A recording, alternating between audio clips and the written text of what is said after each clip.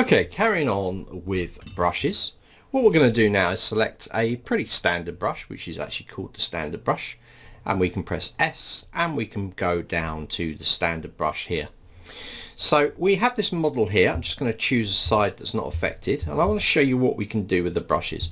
Now a quick way of being able to change the brush size and quite, quite a lot of other things is to actually go over the canvas area that's not on the model the canvas area and press and hold the space bar. This will allow you to change things like the brush size, focal shift and there's things like the Z intensity. So while we're on the Z intensity, I want to show you what it does. It actually says the intensity of the stroke. So if I took this and put this onto zero, and then I drew across this, there's going to be no change. It's because my Z intensity is zero. You can see it up here as well. So I'm going to press that space bar again, and now I'm going to bring it up to halfway, sort of like 20, 20. And now when I draw, you're going to see that it will affect the surface.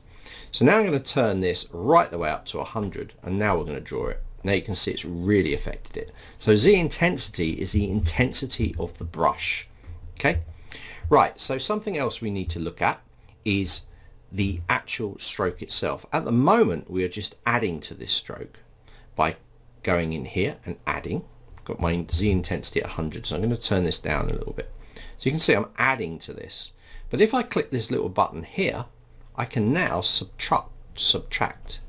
So I can push in or I can push out. Now there is also a shortcut. I'm on ZAdd as I drag. If I hold the Alt key and I click and drag, it will invert the selection. So I can hold the Alt key, I can add to it by not touching the Alt key. And then if I want to take away, I can hold the Alt key and I can drag. And this happens with every brush. So every brush that you've got, if you go to another brush, for instance, such as a Damien Standard, and I was to use this, you can see I can cut in, but if I hold the Alt key, I can pull out. So that Alt key is a handy shortcut to know. If you don't, if you've forgotten the shortcut, you can come up here and you can just change these over, which basically does what the Alt key does on the keyboard. So this is really important to remember that you can actually inverse an action of a brush by using the Alt key or you can use the ZAdd, Z sub and you can also change the intensity of the brush by changing the Z intensity.